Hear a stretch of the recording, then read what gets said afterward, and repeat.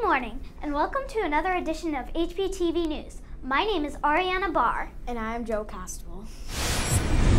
Friday's assembly was so exciting. I can't wait to start reading a whole new ball game for our One School One book. Let's look back at all the fun we had now.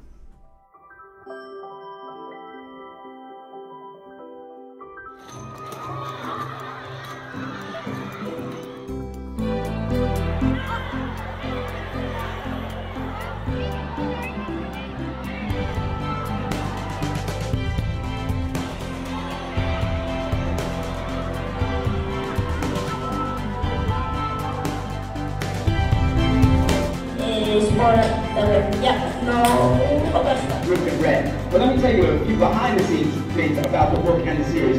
First of all,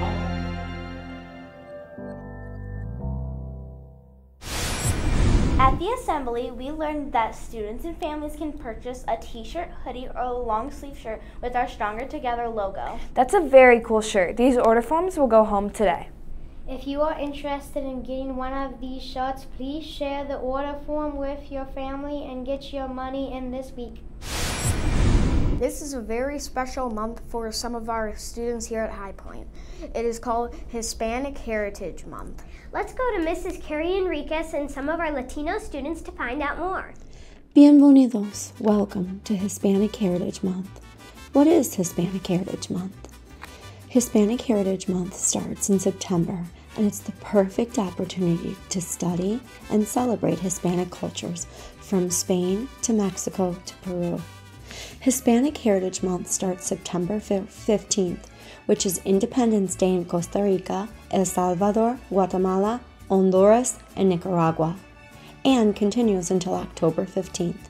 The month also includes Mexico's Independence Day, starting on September 16th, and Chile's Independence Day, which is September 18th. What does Hispanic mean? Hispanic refers to people who speak Spanish or have ancestry from a Spanish speaking country.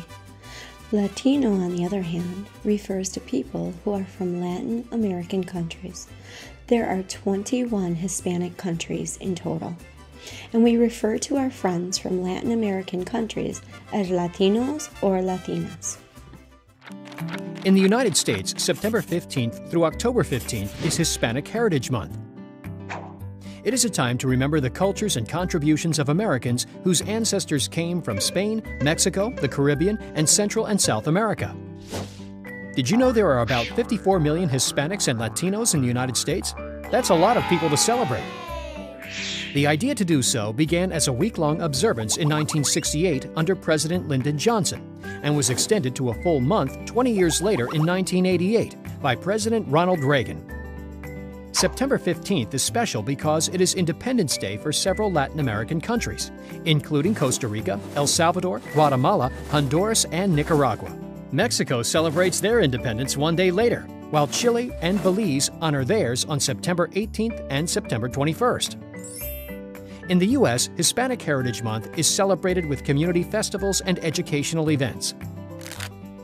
Kids in school learn about famous people of Hispanic heritage, like Ellen Ochoa, the first Hispanic woman to become an astronaut, Nancy Lopez, one of the greatest women golfers to ever play the game, Mexican American Cesar Chavez, who worked to improve conditions for farm workers, Severo Ochoa, a Spanish American Nobel Prize winner in medicine, and Ileana Ros-Lehtinen, the first Hispanic woman and first Cuban American elected to the U.S. Congress.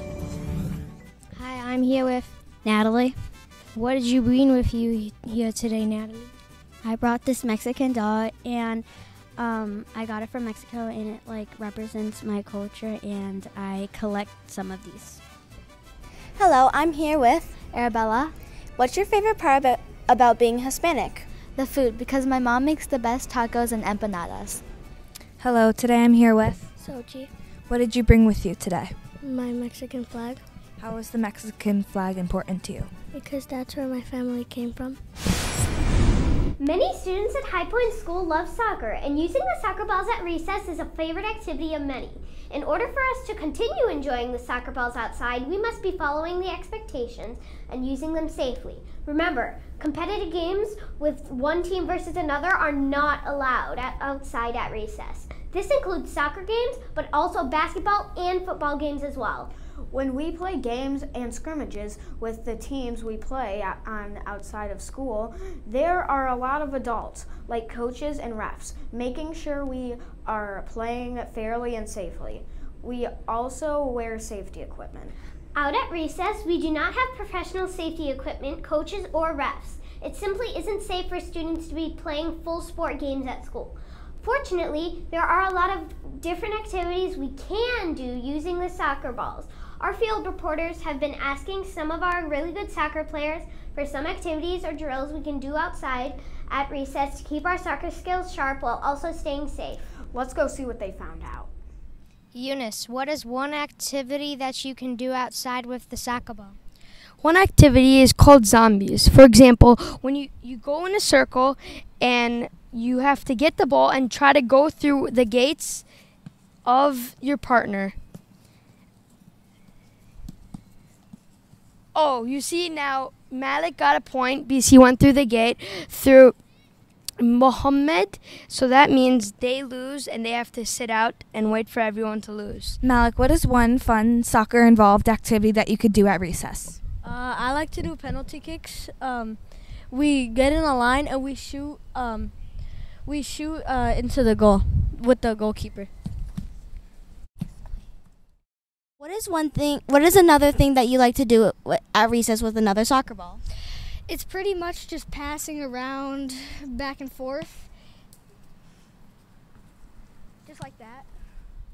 Mohammed, what is another activity that you like to do at recess? Um, so basically, you just like get a ball and then you're just juggling in the air with it, and you could try to do a contest and see who can get the highest amount of juggles there.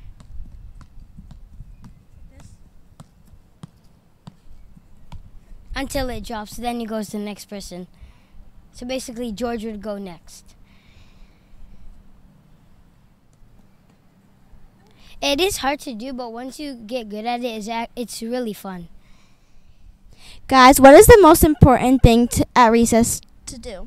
Have fun! Thanks for tuning in. This has been Elliot, Matthew, Ariana, Joe, and Hayden signing off. Have a wonderful day. This newscast brought to you by the High Point Media Team.